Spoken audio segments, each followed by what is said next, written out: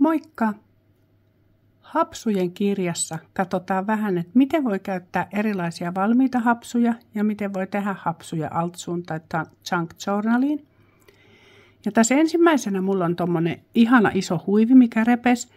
Ja mä oon säästänyt sen nyt askartelutarkoituksiin ja tuossa alussa mulla on siitä kulma ihan muistutuksena, että mulla on hirveä määrä tota ihanaa punaista hapsua tuolla mun materiaalivarastossa. Ja siinä on ihan tuommoista niinku verho- tai koristereunanauhaa. Ja sitten tässä on tämmöinen pikkuruinen liina, mikä oli toisesta reunasta rikki, kirpparilta löytynyt, maksokohan jopa 20 senttiä. Ja mä värjäsin sen, kun mä laitoin sen punajuuriliemeen. Eli keitin punajuuria ja heitin sitten sinne liemeen hautumaan ton huivin, kun siis liina, niin siitä tuli ihana tämmöinen vaaleanpunainen. Tämä on sitten vähän tämmöinen synkeä juttu, mutta tässä on nyt se muistutus, että kaiken maailman vanhoja pöytäliinan reunoja pystyy käyttämään hyvin erilaisiin junk journal-tarkoituksiin. Sitten tuosta mä oon taittanut ton sivun kaksin kerran ja liimannut ton hapsurivin sinne väliin. Tässä on leikitelty noilla lankojen väreillä, eli siinä on pelkkää violettia, pelkkää punasta ja sitten on sekä violettia että punasta. Et noista hapsuistahan saa tosi monen näköisiä, kun leikittelee noin lankojen väreillä. Ja tämä on nyt sitten se sama hapsu, mikä mulla on siellä muistikirjavideolla siellä viime vuoden puolella. Siitä samasta leipäliinasta leikattu toinen reuna. Sitten tämä on tosi kiva. Mulla oli tommosia mm, pellavaisia mallitilkkuja, kangaspaloja. Siis tämmöiseen hommaan käy mikä tahansa semmoinen niinku harvaan kudottu kangas. Ihan tiivistä kangasta ei kannata ruveta purkamaan, siitä ei tule kauhean nätti ja siinä on hirveä työ. Et meillä on myös semmoinen niinku harva kudoksinen kangas. Ja mulla oli tässä kolme eri sävyä tuota punasta, niin siitä tulee elävämpi. Ja tässä pellavassa ainakin on semmoinen ominaisuus, että kun sä oot purkanut ne hapsut ja sinne on vähän pitemmät tollaset, niin se kun kynnellä otat, vedät tollaan noin, niin ne kähertyy. Ja siitä saakin tosi kivan efektin tollain. Eli mä oon nyt ne käherretyt leikatut palat liimannut vaan tuohon sivulle. Ja siihen päälle liimannut tommosen Ministry of Tea teelaatikon kannen. Ja siitä tuli tosi kiva sivu. Eli ihan valmis idea just vaikka altsuun. Sitten tässä on ihan valmiin näköinen aukeama.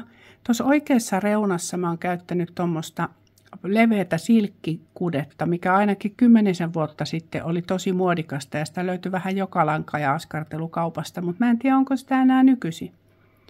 Ja sitten mulla on tästä tämmöinen reikäpahvi, minkä mä oon kellilevyllä painanut. Ja sinne reikään mä liimasin tuommoisen maalatun pitsin. Ja Tossa on sitten toi railon näköinen, niin on tullut mun oman kellilevyn repeämisestä. Ja se tulee kahden viikon päästä video siitä mun omatekoisesta kellilevystä. Ja tämä kirja on kesken sen takia, koska mä meinaan täydentää tätä myöhemmin, että siellä on noita tekemättömiä sivuja. Ja siinä on uudestaan taas tuommoinen reikäpahvi. Ja mä käytin tota hapsutekniikkaa että mä tein tuonne reikään niin kuin noista langoista tuommoisen täytteen. Ja tämähän mulle tulee mieleen, että tämä on ihan niin kuin oma joku linnunrata.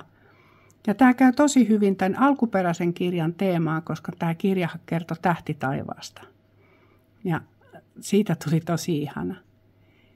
Tässä on sitten tämmöinen ihan perus pellavakankaan pala, minkä mä oon liimannut tuohon sillä, että mä oon noista osasta sivuista leikannut koko yläreunan pois, siis kaikista sivuista, minkä väliin mä oon sen liimannut, että siellä yläreunassa ei ole mitään niin kuin paperia tuolla hapsujen takana.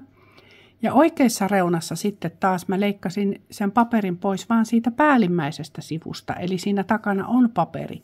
Eli näillä voi leikitellä tosi monella tavalla näillä hapsuilla, että mitä siellä paperia on alla vai eikö paperia alla ja tälleen. Sitten siinä on joku vanha lankakartta, missä koiran karvaa nypin tuossa pois tai kissan karvaa. Ja tässä on hauska, kun tuossa on tuo kirjan alkuperäinen kuviointi tuossa oikealla sivulla, niin kuin joku tuommoinen kuuraketti. Niin tämäkin olisi oikeastaan altsuu jo melko lailla valmis aukeamaan. Siihen ei tarvitse enää paljon, niin se olisi niin kuin valmista kauraa. Sitten vanhat lankakartat on tosiaan tosi kivoja, niistä saisi ihania hapsuja, mutta niitä ei oikein taho löytyy mistään. Et mä oon muutaman niitä onnistunut, onnistunut jostain kaivamaan itselleni jemmaa. Sitten tässä on nyt ihan tämä perushapsu. Ja nyt mä näytän, miten mä oon tämän tehnyt. Ja tätä pystyy tosiaan muuntelemaan vaihtamalla langan väriä, käyttämällä vaikka kahta tai kolmeekin eri väristä lankaa. Eli sä tarvitset ihan tavallisen vanhan, mulla on tuommoinen vanha kulunut viivotin, minkä mä uhrasin tähän tarkoitukseen. Ja sen ympärille kieputetaan tota lankaa. Ja mitä leveämpi se sun viivotin on, niin sitä enempi sulla menee lankaa hukkaa, koska siitä hapsustahan ei jää näkyviin kuin pien osa tuosta leveydestä. Ja nämä mun hapsut on aika tiivistä tavaraa, koska mä oon niinku tiukannut sen tuohon viivottimen ympärille. Mutta jos jättää ne tuollain vähän harvempaa, niin saa semmoiset ilmavammat hapsut. Ja tärkeää tässä nyt on se, että kun sä laitat sen liiman ja laitat ton hapsurivin tuohon, niin laita paino päälle ja jätä se kuivumaan niin kauaksi aikaa, että se on todellakin kunnolla kuivunut, koska muuten se ei kestä tätä vaihetta. Tämä on se kaikista hauskin vaihe. Mä en voi leikata sitä tuosta viivottimen keskeltä, koska mulla on tuossa viivottimessa reijät keskellä. Mutta ah, toi ihana, kun leikkaa ton auki ja ne purtskahtaa tuolta. Ja sitten tämä, mikä on täällä, niin kun jää tänne liimauksen väliin, niin sieltä kannattaa leikata noin ylimääräiset hapsut pois, koska muuten siitä sun sivusta tulee ihan hirveän paksu, kun ne jää sinne töröttämään. Et ne leikataan pois ja sitten ne sivut liimataan yhteen ja sitten se sun hapsurivi on valmis. Pahoittelen, että siitä kohti jäi videoleike ottamatta. Sitten mä tästä mun kirjasta otin sivuista pois ainakin 80 prosenttia. Ja silti siitä tulee semmoinen paksu turso, kun sinne tulee niitä hapsuja.